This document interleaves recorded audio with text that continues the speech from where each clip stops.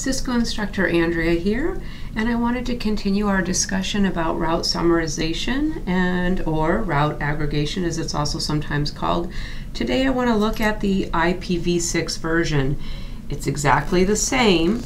Um, sometimes people get a little bit confused because we're dealing with more bits because if you remember IPv6 is made up of 128 bits instead of your standard 32. So we're still just looking at the bits with route summarization. We need to find the part of the network address that everything shares in common. So again, let's just go ahead and take a look at these addresses.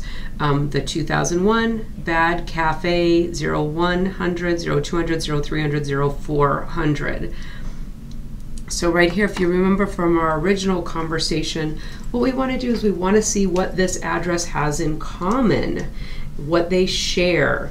So we can see here that they share the 2001, so we know that will be part of our address. We can see they share the bad, that's going to be part of the network summary address. They share the cafe, that's going to be part of the network address. Also now here in this fourth hextet, we see a change. Right here is the same. The zeros are all in common. But what we're looking at is this second nibble area. This is where there's a difference in the second nibble. In order to determine what they have in common, the easiest way to do that is to go ahead and break that into binary. So let's carry down what we know to be true. We know that 2001 is going to be part of the summary network address. We know that bad is going to be part of the summary address. We know that cafe will be part of the summary address. And we know that the zero will be. So now we just have to figure out the rest. I draw my line right here right? I'm going to draw my line. Oh, we don't draw the line yet, actually, because we still need to figure out what is going to be in common.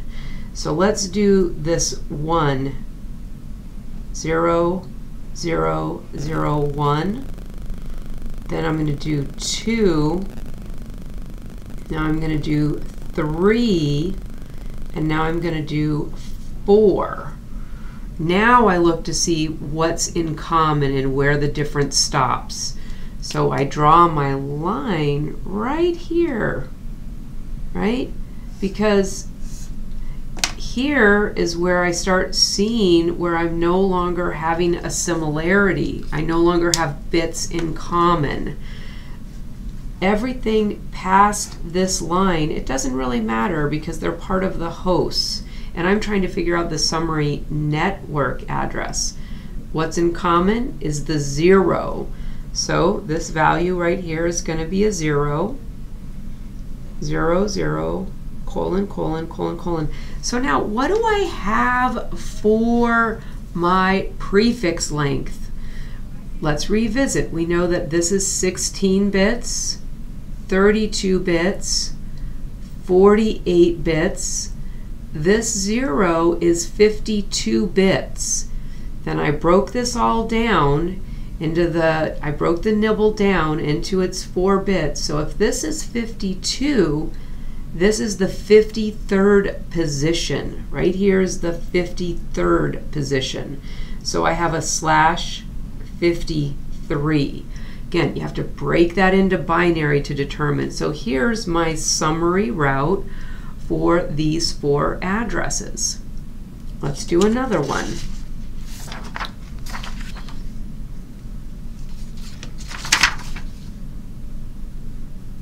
So now we're going to be looking at this. We've got a little bit of a variation. We're still seeing a change in the fourth hextet. My first hextet stays the same. The second hextet is staying the same. The third is the same, but look, I have a change here in the fourth. And what nibble boundary is demonstrating the change? Where do we see the change happening?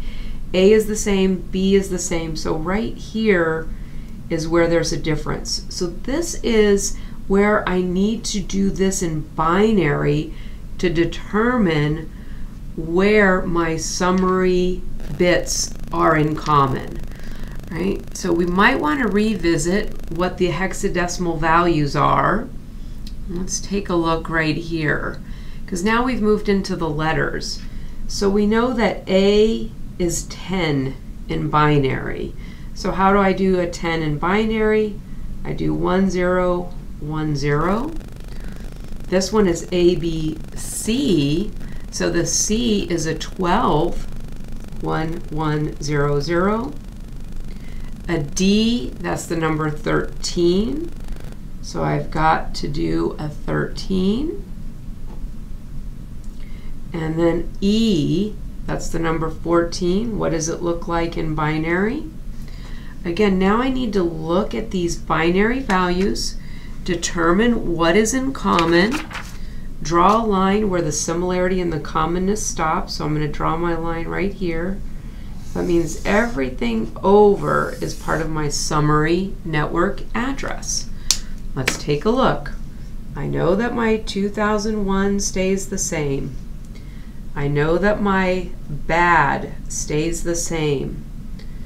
My cafe stays the same. A stays the same. B stays the same. So now I'm just looking here at this nibble and what is this value? If I clear all of the host bits to zero, because I don't really care about anything over here because these are the host bits and I'm just trying to figure out the network portion.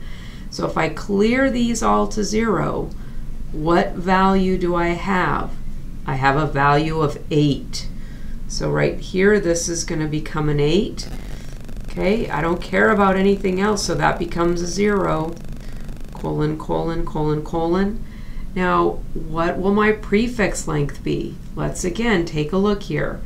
16, 32 bits, 48 bits. This is 52 bits, because remember, each nibble is 4 bits, so this is 52 and 56. Now I need to come look at my breakdown and right there I see 57. This is the 57th bit of 128 at 128-bit address. So my new prefix length is 57. Again, notice how, just like with an IPv4, it's always going to be less than what I started with. The summary will always be less than what I started with. So we have 2001, Bad Cafe, AB 80 colon colon 57 that's it. However, I'm going to do one more to see whether or not the shortcut will work with this. If you remember with IPv4, I taught you a shortcut to just look at the highest and the lowest and compare that as far as the addresses go.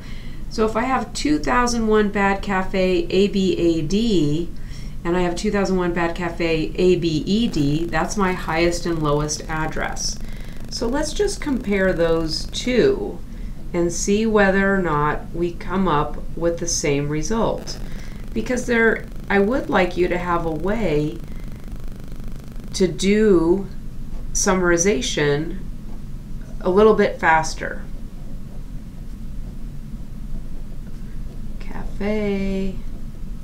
We want to compare it to A, B, E, D, colon, colon, 64.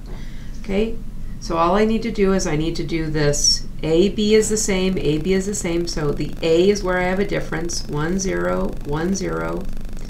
I need to compare it to the E, right? Oh, E, 1. There we go. Where's my line? My line is right here, right? Okay, so I can see what part of my address will be the network summary address. 2001 is the same. Bad is the same. Cafe is the same. A and B is the same. Now I'm looking at here, this is where the difference is happening in the third nibble. What is my value if I clear all the host bits to zero?